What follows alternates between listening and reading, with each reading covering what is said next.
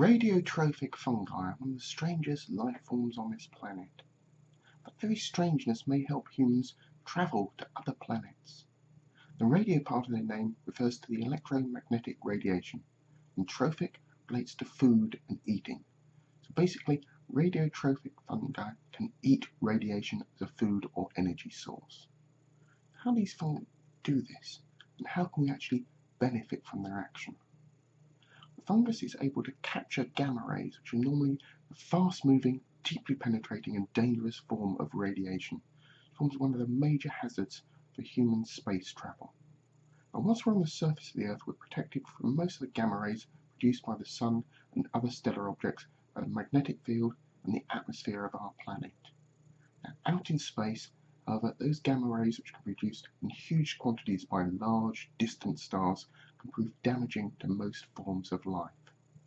Gamma rays themselves are only part of a much broader electromagnetic spectrum which includes things like visible light and ultraviolet light, also produced by stars like our Sun. Of course, not all this light produced by our Sun reaches the surface of the Earth. Most of the ultraviolet light being filtered out by our atmosphere.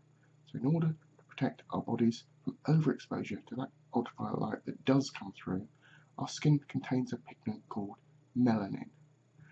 Humans have evolved so that the locations near the equator where more ultraviolet light makes it to the surface of the Earth, the skin has more melanin to protect it from exposure to excessive levels of ultraviolet light. Now, isn't just this ultraviolet light uh, which is potentially dangerous? Electromagnetic radiation is generally divided into two groups, ionizing and non-ionizing radiation.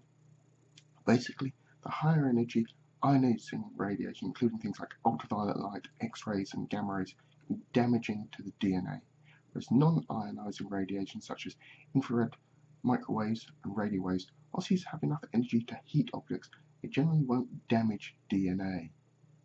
And most plants on Earth make use of the plentiful visible part of the electromagnetic spectrum, convert the energy from the light into a form they can either use or store using chlorophyll. Now, radiotrophic fungi are apparently able to use their form of melanin in a similar way to make use of the energy from gamma rays, convert or store that energy for later use. There have been examples of those fungi being able to survive and even thriving in extremely high radiation areas, including things like inside the Chernobyl reactor and in the highlands of Antarctica. This doesn't mean that coating the hull of a spacecraft in these fungi will protect those inside from gamma radiation, most of the radiation will actually pass through the fungi. In fact, the water in the fungi is likely to be a better shield against radiation than the melanin inside the fungi. However, what it does mean is that deep in space, on outer planets, there's very little visible light from the sun available. Growing normal plants for food is going to be fairly difficult.